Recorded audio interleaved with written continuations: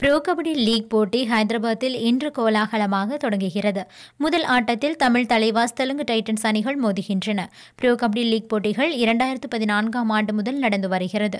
அறிமுக போட்டியில் Jaipur pink Panthers அணியும் இரண்டாவது போட்டியில் மும்பை அணியும் மூன்றாவது மற்றும் நான்காவது போட்டியில் பாட்னா பைரட்ஸ் அணியும் சாம்பியன் பட்டத்தை கைப்பற்றின.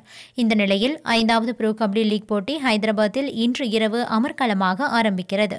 அக்டோபர் இருபத்தி எட்டாம் தேதி வரை மூன்று மாதம் இந்த கபடி திருவிழா அரங்கேற்றப்படுகிறது. முதல் நான்கு சீசனில் எட்டு அணிகள் கலந்து கொண்டன. ஆனால் இந்த ஆண்டில் கூடுதலாக நான்கு அணிகள் சேர்க்கப்பட்டுள்ளன. இதன்படி தமிழ்நாடு உத்தரப்பிரதேசம் ஹரியானா குஜராத் மாநிலங்களைச் சேர்ந்த அணிகள் புரோ கபடியில் முதன்முறையாக அடியெடுத்து வைத்திருக்கின்றன. போட்டியில் பங்கேற்கும் பனிரண்டு அணிகள் இரண்டு பிரிவுகளாக பிரிக்கப்பட்டிருக்கின்றன.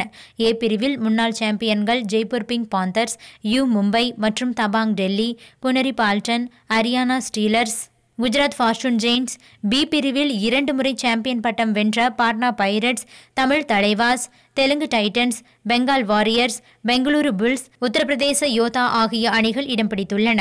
ஒவ்வொரு அணியும் தங்கள் பிரிவில் உள்ள மற்ற அணிகளுடன் தலா மூன்று முறை மோத வேண்டும். அத்துடன் அடுத்த பிரிவில் உள்ள அணிகளுடன் தலா ஒரு முறை மோத வேண்டும். அதன்படி ஒவ்வொரு அணியும் இருபத்தி ஒரு லீக் ஆட்டங்களில் விளையாட வேண்டும். அக்டோபர் இருபதாம் தேதி லீக் சுற்று முடிவடைகிறது. லீக் முடிவில் ஒவ்வொரு பிரிவிலும் முதல் மூன்று இடங்களை பிடிக்கும் அணிகள் பிளே ஆஃப் சுற்றுக்கு தகுதி பெறும்.